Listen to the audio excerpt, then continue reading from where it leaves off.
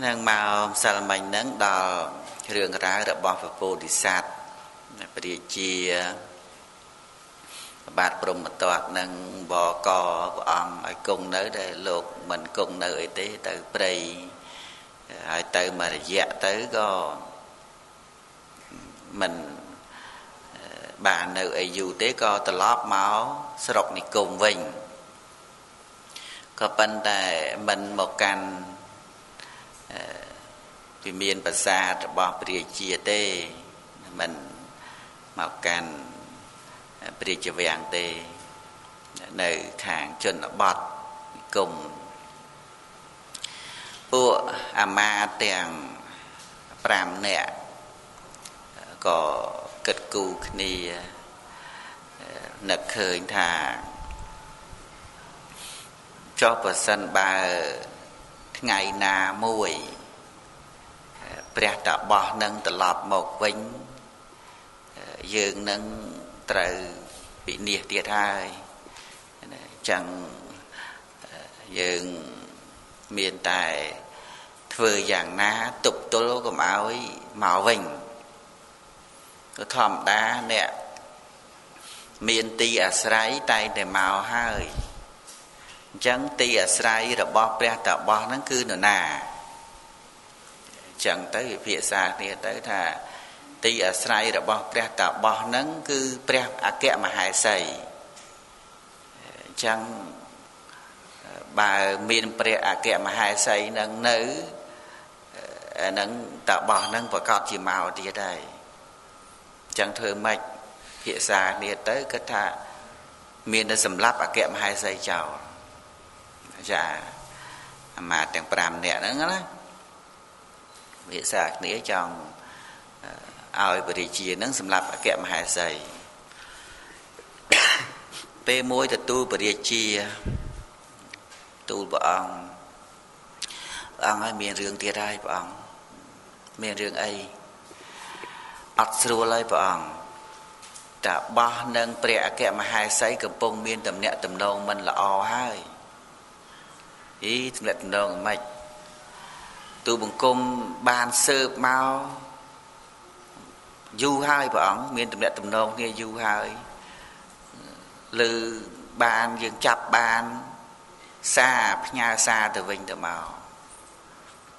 តបោះនឹងផ្ញើសារឲ្យអគ្គមហេសីនឹងថាតើនាងអាចយកក្បាលពរាជាបានទេ យើងចង់សោយរាជផ្ញើសារមកអញ្ចឹង ហើយអគ្គមហេសីនឹងក៏បានផ្ញើសារទៅវិញដែរថា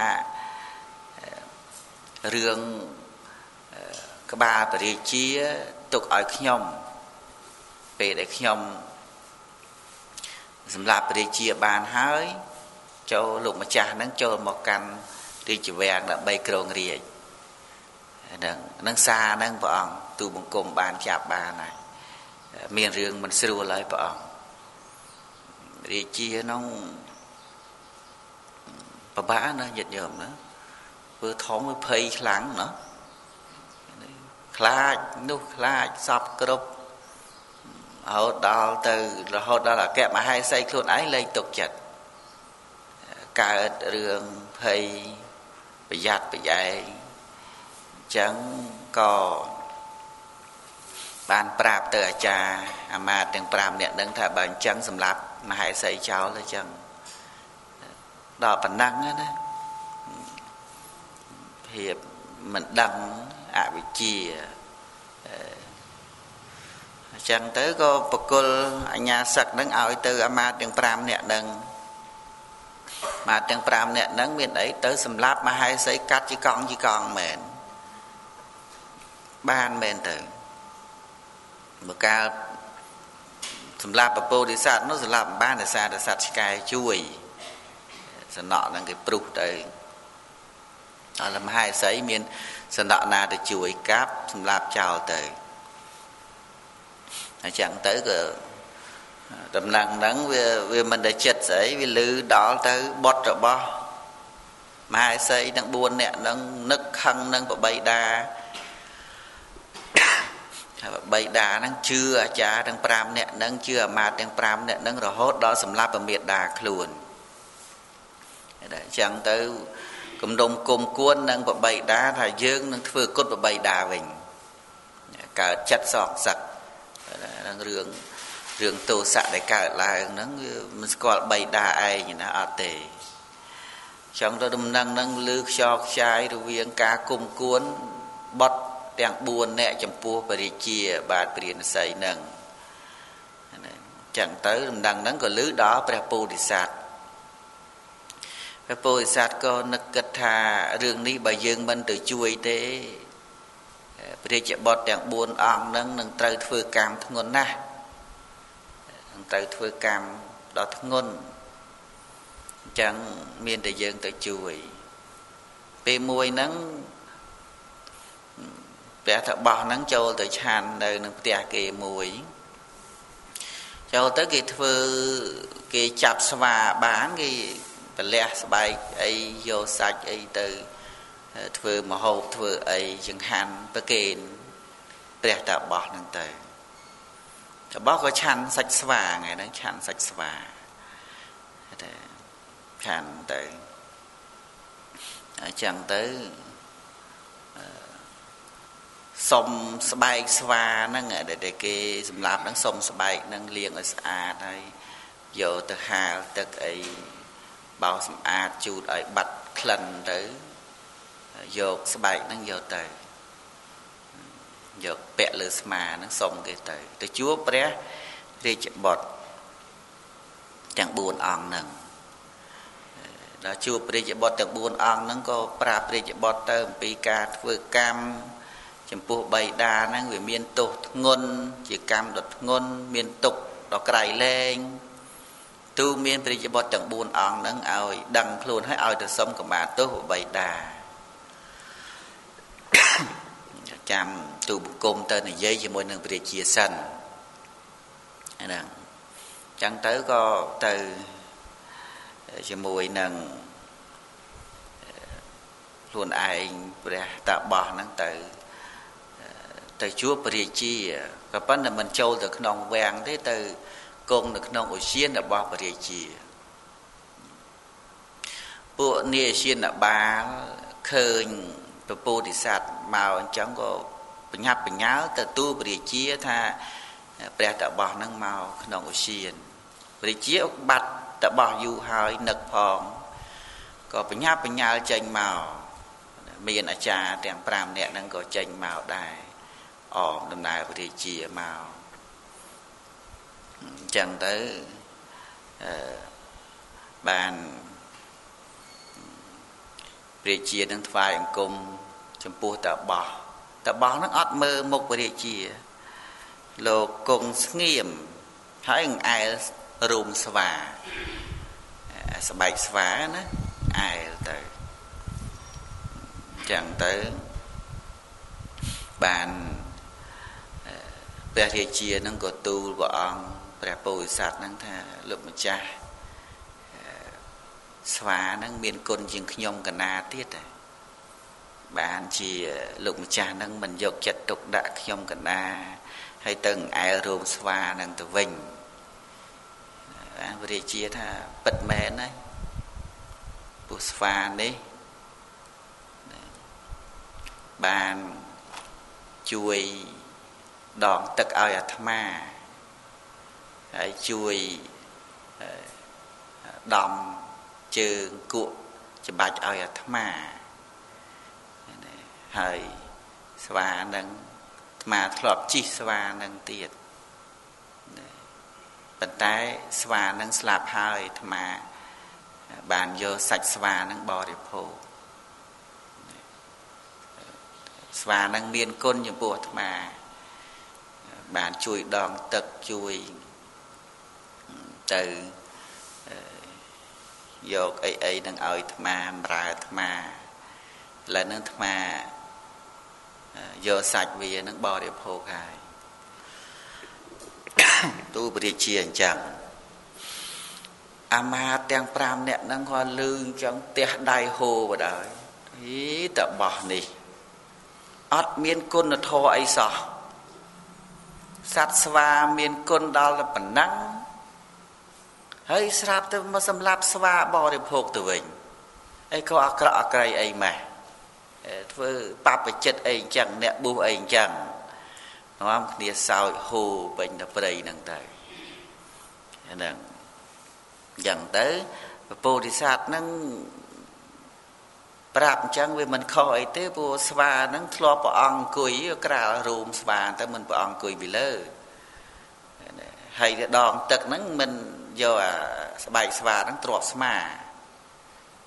មិនអញ្ចឹងណាហើយដំខ្នងអីច្បាច់ខ្នងអីហ្នឹងមិនក្រាលសឹងហើយមានតែខុសអីអាចារ្យទាំង5នាក់ហ្នឹងអត់ដឹងរឿងស្មានតែវ៉ានឹង បំរើមែនតើមិនណែព្រះពោធិសត្វពោលអញ្ចឹងដើម្បីគ្របសង្កត់នៅវាទៈរបស់អាចារ្យវាទៈរបស់អាមាទាំងទាំង5នាក់ហ្នឹងព្រោះអាមាតមួយហ្នឹងគេមាននៅអហេតកវាទអហេតកវាទគេមាននៅសេចក្តីយល់ឃើញថា អ្វីអ្វីទាំងអស់ហ្នឹងវាអត់មានហេតុទេសត្វទាំងឡាយហ្នឹងវាបរិសុទ្ធឯងឯងយល់អញ្ចឹងណាហើយដល់មកឃើញពពោធិសត្វឃើញពពោធិសត្វអីទៅសម្លាប់ស្វាស្វាមានគុណចំពោះពពោធិសត្វអញ្ចឹងហើយបែរទៅជាសម្លាប់អញ្ចឹងគេសោចអញ្ចឹង ពពោធិសត្វក៏ក៏បានពោលទៅវិញថាបើពាក្យរបស់អ្នកថាសត្វប្រព្រឹត្តទៅតាមសង្កតិសង្កតិហ្នឹងគឺបានដល់ថាអត់មានហេតុ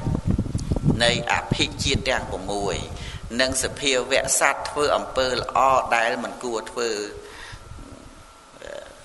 បាបឬអំពើដែលគួរធ្វើគឺបន់តើនរណាក្នុងលោកនេះប្រឡាក់ដោយបាប ព្រោះអំពើដែលធ្វើដោយការមិនចង់លោកអាចារ្យលើកឡើងថាអ្វីអ្វីវាអត់មានហេតុទេបុណ្យក៏អត់មានបាបក៏អត់មានអញ្ចឹងអាត្មាសម្រាប់ស្វានឹងមានបាបស្អីពីនោះវាវិចរអាអាខ្លួនឯងមានទិដ្ឋិអញ្ចឹងហ៎បង្រៀនអ្នកស្រុកអ្នកភូមិអ្នកនគរហ្នឹងថាវាអត់មានបាបអត់មានបន់នេះទេហើយដល់ទៅតបោះមកសម្រាប់ សត្វស្វានៅគ្នាសោយថាអីក៏គ្មានគុណធម៌អីចឹងព្រះពោធិសត្វបកទៅវិញថាសភាវៈអំពើតែមិនគួរធ្វើបាបអំពើឬគួរធ្វើបន់ហ្នឹងវាអត់មានទេអត់មានណាប្រឡាក់បាបប្រឡាក់បន់អីទេអញ្ចឹងអាត្មាមានអីត្រូវប្រឡាក់ព្រោះបន់អត់មានបាបអត់មានហើយបើពាក្យហ្នឹងពិតមែនអាត្មាមានបាបអីលោកបញ្ជាក់អញ្ចឹងបើសេចក្តីនៃភាសិតរបស់អ្នកជាអហេតុវិទនោះ ជាអត្តផងជាធម៌ផងល្អមិនអាក្រក់ទេ បើពាក្យរបស់អ្នកដ៏ចម្រើន ជាពាក្យពិតពាណោក៏ឈ្មោះថាអាត្មាសម្លាប់នឹងត្រូវហើយ មានខុសអីព្រោះអ្នកឯងថាអត់មានបាបផងបើអ្នកដឹងនៅកំហុសនៃវាទៈខ្លួន អ្នកមិនត្រូវតែឌីលអាត្មាទេត្បិតវាទៈរបស់អ្នកដ៏ចម្រើនបែបនោះបើបើដឹងថាខ្លួនឯងនិយាយទៅអត់បាបបនផងរឿងអីដែលមកមកសោចបោឲ្យអាត្មា ដាក់មួយម៉ាត់ចឹងទៅឈឹងសោចលេងចេញចឹងទៅពុទ្ធសាសហ្នឹងក៏សួរអាចារ្យមួយទៀតអាចារ្យហ្នឹងគេមាននៅអិសរណៈវាទីអិសរណៈអិសរណៈវាទីគេយល់ថាអវ័យអវ័យទាំងអស់ហ្នឹងវាអិសីអិសូរហ្នឹងជាអ្នកបកើត ពុទ្ធសាសពោថាប្រសិនបើអីសូរជាអ្នកចាត់ចែងជីវិតរបស់សត្វលោកទាំងអស់ផងចាត់ចែងនៅរិទ្ធឬអិសរិយយុផង នៅភាពនៃសេចក្តីវិនិច្ឆ័យផង នៅកម្មល្អនិងអាក្រក់ផងបរោះណាមួយ ជាអ្នកធ្វើតាមបង្គាប់របស់អិសូរនោះព្រះអិសូរទេតើតែងប្រឡាក់ដិតដាមដោយអំពើអាក្រក់នោះដោយខ្លួនឯង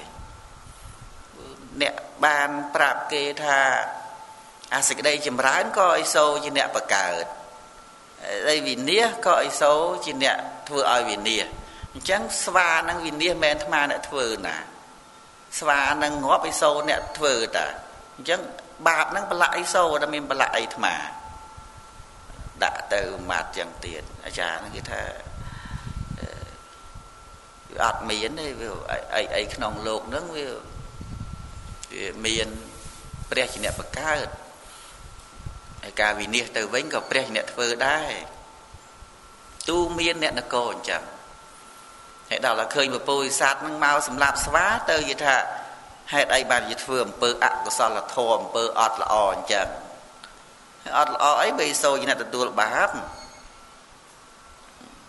ហើយ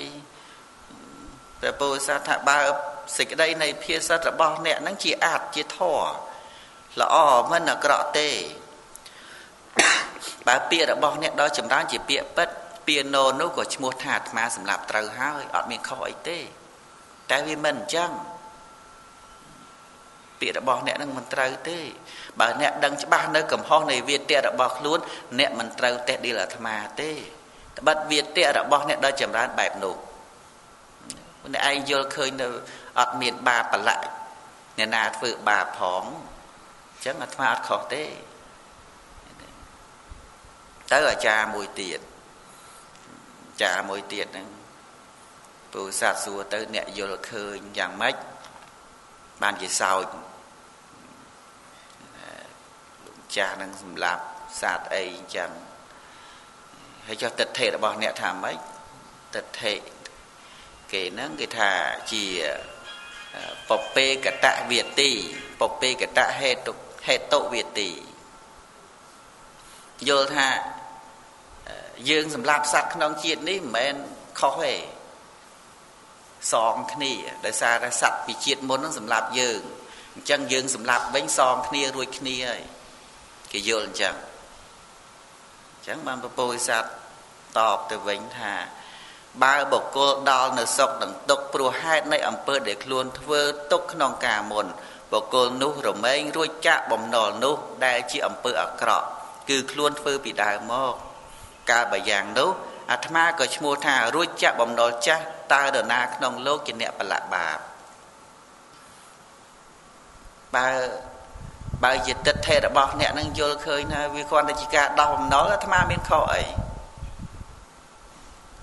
បើថាស្វានឹងវាជាតិមុនសម្រាប់អាត្មាហើយអាត្មាសម្រាប់វិញមានខុសអីរួចបំណុលគ្នាតើតែវាមិនមែនចឹងណាអញ្ចឹង បើសេចក្តីនៃភាសិតរបស់អ្នកនឹងជាជាអាចផងជាធរផងមិនអាក្រក់ទេបើពាក្យរបស់អ្នកដល់ចម្រើនជាពាក្យពិតពាក្យណូក៏ឈ្មោះថាអាត្មានឹងសម្រាប់ត្រូវហើយតែបើអ្នកយល់ច្បាស់នៅកំហុសនៃវាទៈរបស់ខ្លួនអ្នកមិនត្រូវតេតិលអាត្មាទេហ្នឹងហ្នឹងពោធិសត្វញោមញីនៅវាទៈរបស់អាចារ្យទាំង4ទាំង5នាក់ហ្នឹង ហើយមានអាចារ្យមួយទៀតហ្នឹងគេយល់ឃើញថាឆេតវិទ្យសូនអត់មានទៀតទេស្លាប់ហើយសូនអញ្ចឹងទៅពោធិសត្វហ្នឹងក៏ពោលថារូបខណ្ឌរបស់សត្វទាំងឡាយតែងកកើតឡើងព្រោះអាស្រ័យនៅមហាភូតរូបទាំង4មានដីជាដើមឯរូបនោះក៏កើតឡើងអំពីភូតរូបណា ដល់ពេលរលត់ទៅក៏ត្រឡប់ទៅកាន់ភូតរូបនោះវិញជីវៈរស់នៅក្នុងលោកនេះលុះរំលៀងខណ្ឌទៅហើយនឹងសាបសូន្យក្នុងបរៈលោកនេះដាច់សូន្យជនទាំងឡាយទាំងពីលទាំងបណ្ឌិតរមែងសូន្យដូចគ្នា កាលបើលោកនេះដាច់សូន្យហើយតើនរណាក្នុងលោកជាអ្នកប្រឡាក់បាបមិនក៏បានជាមកសោចអាត្មាហើយថាអ្វីអ្វីនឹងវាសូន្យណោះ ស្លាប់ទៅសូន្យហើយបើសូន្យអញ្ចឹងមានអីមកត្រូវសោចអាត្មារឿងអីដែលអាត្មាធ្វើខុសបើទិដ្ឋិរបស់អ្នកយល់អញ្ចឹងហ្នឹងហ្នឹងអ្នកដែលគេពេលខ្លះយល់អញ្ចឹងយល់ថាមនុស្សយើងស្លាប់ទៅសូន្យណាប៉ុន្តែដល់តែគេធ្វើបាបខ្លួនខ្លាចដែរ ភ័យតក់ស្លុតញាប់ញ័រស្វែងរកខុសត្រូវរកយុត្តិធម៌ហេតុអីបានជាគេធ្វើបាបខ្ញុំអាហ្នឹងការដែលយើងយល់ថាអ្វីអ្វីសូនហ្នឹងតែវាត្រឹមត្រូវឬទេបើគិតថាអ្វីសូន្យហ្នឹងមនុស្សគ្រប់គ្នាចាំបាច់ធ្វើល្អធ្វើអីណាមិននាំគ្នាធ្វើបាបទៅវាវាមិនមែនចឹងឯណា ព្រោះអ្វីអ្វីទាំងអស់វាមិនមែនដាច់សូន្យដូចឧឆេតទិដ្ឋិនោះទេអាចារ្យនឹងគេយល់ឃើញអញ្ចឹងអញ្ចឹងបើភាសិតរបស់អ្នកនឹងជាអាចផង ជាធរផងល្អមិនអាក្រក់ទេ បើពាក្យរបស់អ្នកដល់ចម្រើនជាពាក្យពិតពាក្យណូនោះក៏ឈ្មោះថាអាត្មាសម្រាប់ត្រូវហើយបើអ្នកដឹងច្បាស់នៅកំហុសនៃវាទៈរបស់ខ្លួនអ្នកមិនត្រូវតេះដៀលអាត្មាទេបិទវាទៈ របស់អ្នកដល់ចម្រើនបែបនោះនឹងបាននៅវាទៈមួយទៀតវាទៈហ្នឹងគេយល់ឃើញថាជាខត្តវិជ្ជវាទីយល់ថាជនទាំងឡាយជាអ្នកមានខត្តវិជ្ជាវិជ្ជាខាងកោះរំលើង នៅក្នុងលោក ជាជនពៀលនោះសោះសោតតែមានមានះថាជាបណ្ឌិតពោលថាបុគ្គលសម្រាប់មេដាក៏បាន សម្រាប់បៃតាក៏បានពុំនោះសោតទេសម្រាប់បងប្អូនកូនប្រពន្ធក៏បានដែរបើសិនបើមានប្រយោជន៍បែបនោះគេបង្រៀនមនុស្សថាបើមានកាច់ចាំបាច់ត្រូវសម្រាប់ឪសម្រាប់ទៅវាចាំបាច់ហើយបើបើ មានកិច្ចចាំបាច់ត្រូវសម្រាប់ប្រពន្ធសម្រាប់កូនសម្រាប់បងសម្រាប់ប្អូនសម្រាប់ទៅឲ្យតែចាំបាច់ឲ្យតែគិតថាធ្វើអញ្ចឹងទៅមានប្រយោជន៍សម្រាប់ទៅអាហ្នឹងអាចារ្យហ្នឹងមានទិដ្ឋិអញ្ចឹងគេហៅថាខត្តវិជ្ជវាទីហ្នឹងអញ្ចឹងអាត្មាមានអីខុសបើអាត្មាចាំបាច់ចង់បានសัตว์ចង់បានសាច់នឹងបរិភោគ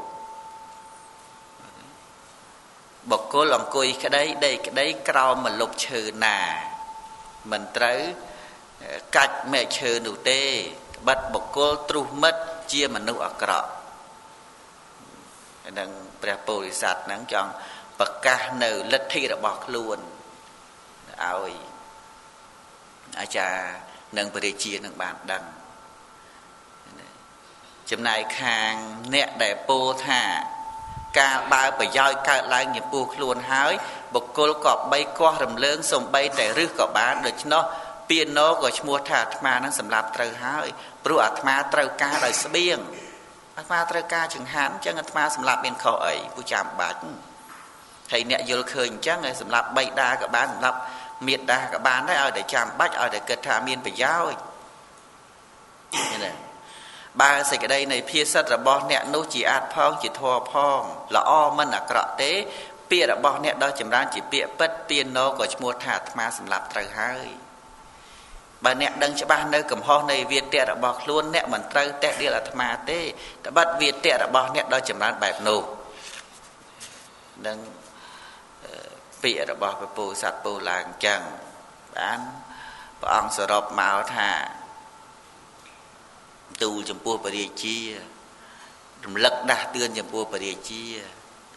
ថាបរោះអ្នកលុះក្នុងអំណាចនៃទិដ្ឋិទាំង5អ្នកនេះ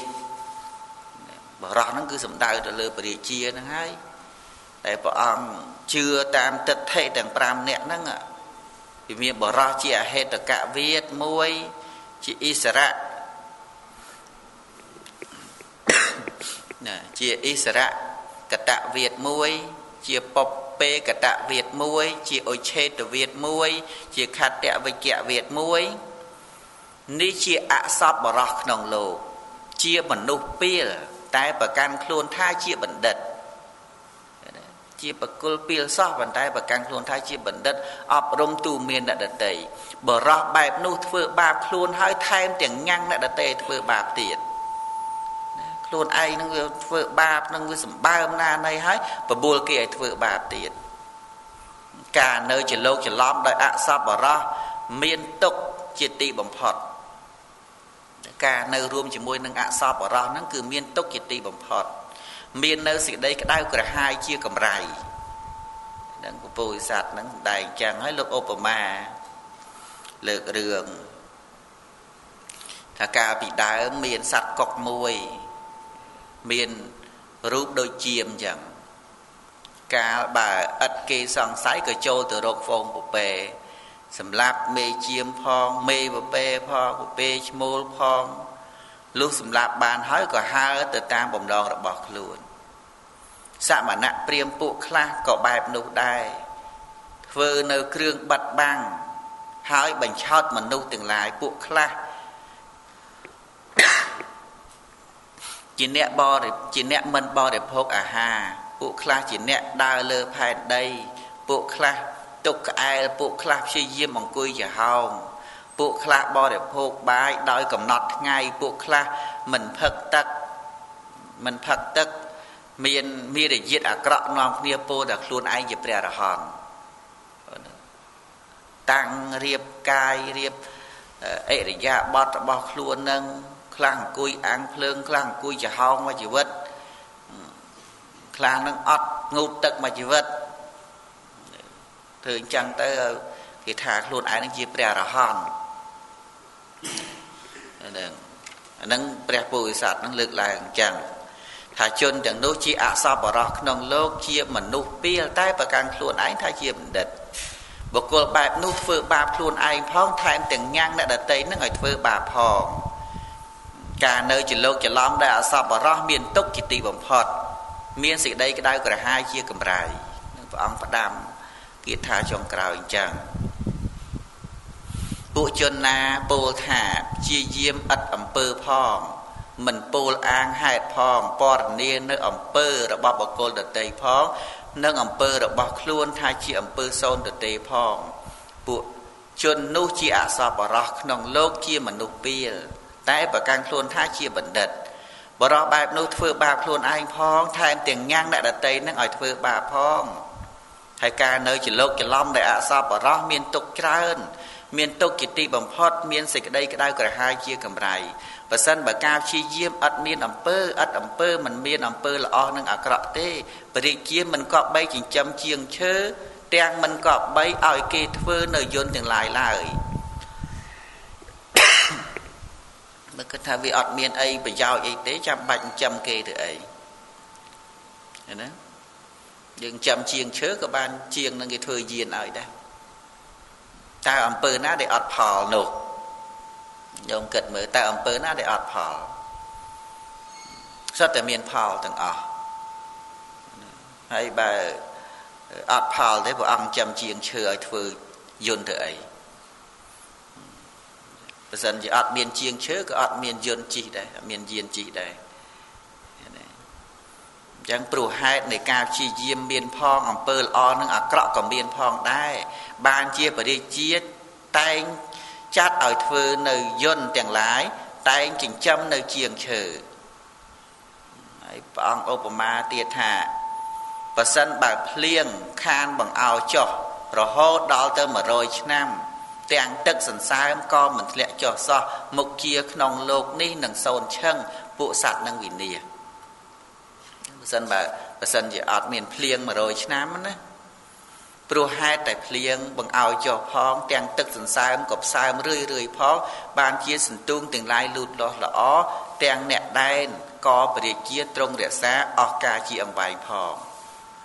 កាលពួកគោកំពុងឆ្លងទៅកាន់ទីណាមួយ បើគោនោះ បើគោបាទៅវាចកាលបើគោបានាំពួកគោទៅវាចមេគោទាំងអស់ក៏ទៅវាចដែរបណ្ដាពួកមនុស្សក៏ដូចគ្នាដែរបុគ្គលណាដែលអ្នកផងសន្មត់ថាប្រសើរបំផុតបើបុគ្គលនោះប្រព្រឹត្តអធរនឹងចាំបាច់និយាយធ្វើដល់ជនក្រៅពីនេះបើពរិជាមិនប្រកបដោយធម៌អ្នកដែនទាំងអស់ដេកជាទុកអាហ្នឹងគាថាហ្នឹងដូចពជាដកមុនអញ្ចឹងអប់រំពរិជា កាលពួកគោកំពុងឆ្លងទៅបើគោបាទៅត្រង់កាលបើគោបានាំគេទៅត្រង់មេគោទាំងអស់នឹងទៅត្រង់ដែរពួកមនុស្សក៏ដូចគ្នាដែរបុគ្គលណាដែលគេសន្មត់ផងថាប្រសើរបំផុតប្រសិនបើបុគ្គលនោះប្រព្រឹត្តធម៌ចាំបាច់និយាយអ្វីដល់ជនក្រៅពីនេះបើបរិជាប្រកបដោយធម៌អ្នកដែនទាំងអស់ក៏ដេកជាសុខគឺបរិជាអញ្ចឹង បុគ្គលណាបេះផ្លែខ្ចីនៃឈើធំដែលមានផ្លែបបុគ្គលនោះរមែងមិនដឹងនៅរសនៃផ្លែនោះផង ទាំងពូជនៃផ្លែឈើនោះក៏វិនិច្ឆ័យដែរអានឹងអ្នកដែលបេះផ្លែឈើនៅខ្ចីនោះព្រះរាជាណាគ្រប់គ្រងដែនប្រៀបដូចជាដើមឈើធំដោយអធរព្រះរាជានោះឈ្មោះថាមិនជ្រាបនៅរសនៃដែននោះផង ទាំងដែនរបស់ព្រះរាជានោះក៏វិនិច្ឆ័យផងបុគ្គលណាបេះផ្លែឈើទុំនៃដើមឈើធំដែលមានផ្លែបុគ្គលនោះរមែងដឹងនៅរសនៃផ្លែឈើនោះផងទាំងពូជរបស់ផ្លែឈើនោះក៏មិនវិនិច្ឆ័យផងព្រះរាជាណាគ្រប់គ្រងដែនដែលប្រៀបដូចជាដើមឈើធំដោយធរព្រះរាជានោះឈ្មោះថាបានជ្រាបនៅរសនៃ របស់អ្នកដែនផងទាំងដែនរបស់ព្រះរាជានោះក៏មិនវិនិច្ឆ័យផងសរុបមកគឺព្រះរាជាប្រកបដោយធម៌ព្រះរាជាណាមួយគ្រប់គ្រងជនបទដោយអធរលុះអំណាចអកតេព្រះរាជាជាខតយៈនោះឈ្មោះថាសាបសូនចាក់ដើមឈើដែលត្រូវជាឱសថទាំងអស់ហ្នឹងមួយទៀតព្រះរាជាអង្គណាបៀតបៀនពួកកដុំពីរដែលនៅក្នុងនិគមផងបៀតបៀនពួកពេនិចដែលប្រកបការលក់ចេញទិញចូលជាអ្នកធ្វើនៅការថ្វាយពុនដា និងពលិកាផងព្រះរាជានោះឈ្មោះថាសាបសូនចាក់ឃ្លាំងត្រូវមានទាំងអស់ត្រូវបៀតបៀនពួកសិទ្ធិកដុំពីរនិងពួកអ្នកចំនួនទេព្រោះព្រះរាជាបានសួយសាក ពុនដាពលិកាហ្នឹងអំពីពួកអ្នកទាំងអស់ហ្នឹងព្រះរាជាណាបៀតបៀននៅខ្មាន់ធ្នូដែលជាអ្នកដឹងនៅកន្លែងយ៉ាងដំណំដែលគួរប្រហារនិងពួកទាហានធំដែលជាអ្នកពិចារណាធ្វើការក្នុងសង្គ្រាមនិងអាមហាមាតដែលមានស័ក្តិធំធំពរាជានោះឈ្មោះថាសាបសូនចពលប៉ុន្តែខ្សាត់ណាប្រព្រឹត្តនៅអធរបៀតបៀនពួកអិសីអ្នកសង្រួម ប្រព្រឹត្តធរដល់ប្រសើរប្រៀបដូចជាបៀតបៀននៅអ្នកនិគមដូច្នោះខ្សាត់នោះឈ្មោះថាសាបសូនចឋានសួគ៌បៀតបៀនអ្វីគឺសាបសូន្យនឹងឯងបៀតបៀនមិត្តសាបសូន្យចាក់មិត្តបៀតបៀនសមណៈព្រាមគឺសាបសូន្យចាក់ឋានសួគ៌ម្យ៉ាងទៀតបរិជាណាមិនថិតនៅក្នុងធរសម្រាប់អគ្គមហេសីដែលជាអ្នកមិនបទុះដាក់ចំតែម្ដង បរិជានោះឈ្មោះថា បានជួបប្រទះនៅឋានៈដ៏អាក្រក់ផងឈ្មោះថាសាបសូនចាក់កូនទាំងឡាយផងសម្រាប់ម្ដាយគេចឹងកូនគេគេមិនស្អប់ដូច្នេះបរិជាត្រូវតែប្រព្រឹត្តធម៌ផងមិនត្រូវបៀតបៀនអ្នកជនបទនិងអ្នកនិគមផងពួកពលផងពួកអិសីផងក៏បីប្រព្រឹត្តស្មោះស្មៅចំពោះកូននិងប្រពន្ធផង បានព្រះរាជានោះទើបឈ្មោះថាជាម្ចាស់នៃផែនដី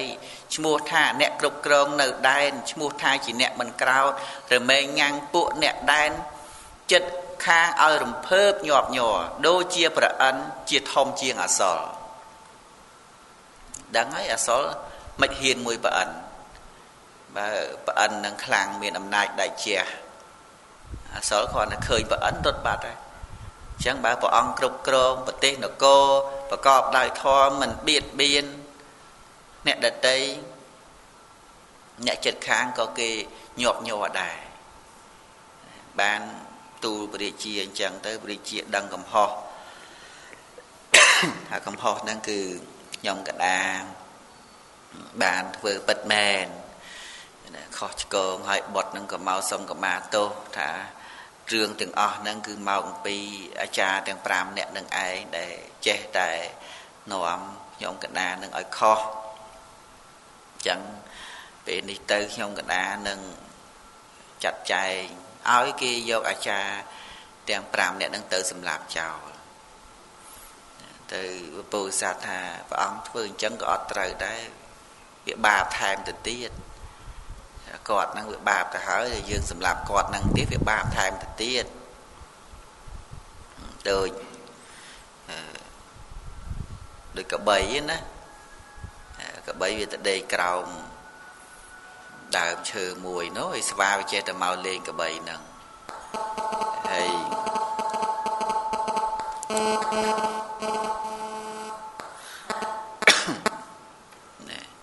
ហើយ ដល់ចឹងទៅទេវតានៅដើមឈើហ្នឹងខឹងជំនួសកបីទៀតកបីឯងមិនក៏មិនវត្តស្វាហើយងាប់ទៅមកជុះអាចដាក់ក្បាលមកបលែងពេញទៅខ្លួនចឹងកបីថាស្វាហ្នឹងគ្រាន់តែបលែងជុះអាចដាក់ក្បាលទេតែបើយើងសម្រាប់ស្វាហ្នឹងយើងវាអាក្រក់ជាងស្វាហ្នឹងទៅទៀតប្រាប់ទេវតាអញ្ចឹងអញ្ចឹងព្រះរាជាចង់សម្រាប់ អាមាត្យទាំង5អ្នកនឹងអាចារ្យទាំង5អ្នកនឹងទូរិស័តមិនឲ្យធ្វើអញ្ចឹងទេអញ្ចឹងចាំខ្ញុំកណានឹងឲ្យគេកោសក់អាចារ្យកោឲ្យទុកដប់ដប់ដប់លើក្បាលអញ្ចឹងណាហើយរឹបអូសយកទ្រព្យសម្បត្តិឲ្យអស់ហើយបបោះបង់ទៅក្រៅទៅដេញចោលចានគរទៅ ចាទាំង5នាក់នឹងបានចុងក្រោយយ៉ាងឯងអស់អីទាំងអស់នៅមិនសុកណានៅមិនសុកហ្នឹងឯងបានចេះតែបោះនឹងជួយបើសិនជាគេអត់ជួយចោលបាត់ហើយតែមើលទៅមុខទៀតមានរឿងមួយផ្សេងទៀតអញ្ចឹងទៅបានអប់រំពរាជានឹងហើយទៅក៏ពពុរិស័ទនឹង ត្រឡប់ទៅកាន់ព្រៃហែមពៀនវិញទៅចម្រើនឈានចម្រើនអបញ្ញាទៅអស់ប្រជជនអស់ជីវិតទៅក៏ទៅកាន់ព្រហ្មលោកទៅបាននៅសម័យកាលដែលព្រះអង្គគង់នៅព្រះអង្គប្រជុំជាតិដកថាអឺសនៈឈ្មោះគេសនៈហ្នឹងកោលាយកៈកោលាយកៈ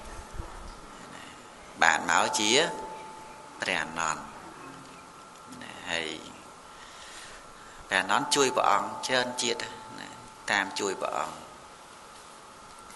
ហើយអាចារ្យទាំង5នាក់ហ្នឹងបានមកគ្រូឈ្មោះពរណកាសបៈមកលិកោសាសញ្ជ័យវិលតបុតបកធកចៃណៈអចិតកេសៈកំពលនិកន្តនេតបុតមក គ្រូនឹងមកតាំងពីដើមមកអត់ចោលទិដ្ឋិហ្នឹងចេះតែបានមកមនុស្សដែរហ្នឹងទៅទៅហ្នឹងហើយបាន